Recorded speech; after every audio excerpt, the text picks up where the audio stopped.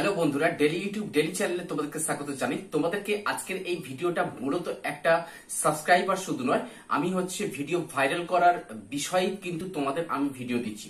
তো দেখো, তোমরা অনেকে কিন্তু আমার ভিডিও দেখে অনেক কিন্তু চ্যানেল ক্রিয়েট করেছ। কিন্তু সেই চ্যানেলগুলো মূলত ভিউ আসছে না। ইভেন আমারও চ্যানেলে ভিউ আসছে পঞ্চাশ, ষাট, চল্লিশ, এরকম আসছে। তো আমি যে পদ্ধতিটা তোমাদেরকে বলব, এই পদ্ধতি আমি করতে পারব না, কারণ আমার চ্যানেলটা মূলত ইউটিউব সম্বন্ধে। তো তাই আমি করতে পারছি না।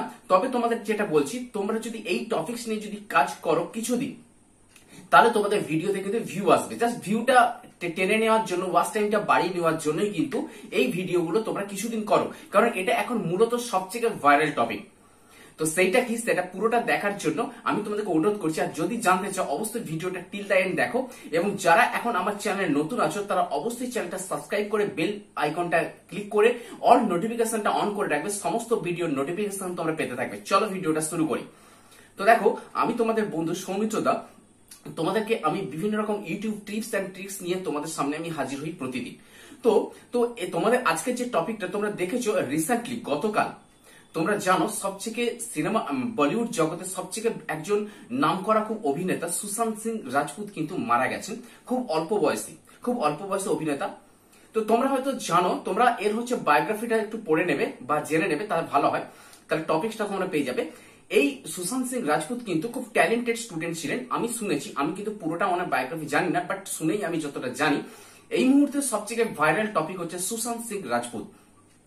তো উনি হচ্ছে খুব ট্যালেন্টেড স্টুডেন্ট ছিলেন। অল ইন্ডিয়া ইঞ্জিনিয়ারিং এ কিন্তু সেভেন্থ র্যাঙ্ক করেছিলেন। তারপর যখন সিনেমা ইন্ডাস্ট্রিতে আসেন, উনি কিন্তু প্রত্যেকটা বই, তোমরা জানো এম এস ধোনি থেকে শুরু করে ছিচড়ে এই সব সমস্ত আরও সব কি সব সিনেমা আছে আমি দেখিনি। তবে এম এস ধোনিটা আমি দেখেছি খুব মানে টপ লেভেলের অভিনেতা। অবশ্যই খুব মানে খুব মানে নাম করতে হয়। তো এই মুহূর্তে ইনি যে মারা গেছেন, এই নিয়ে কিন্তু নানা রকম জিজ্ঞাসা আছে মানে মানুষের মনে। কীরকম? উনি কি সত্যি সুইসাইড করেছেন? না, উনি সত্যি মানে কোনো কোনো অন্যভাবে তিনি মারা গেছেন?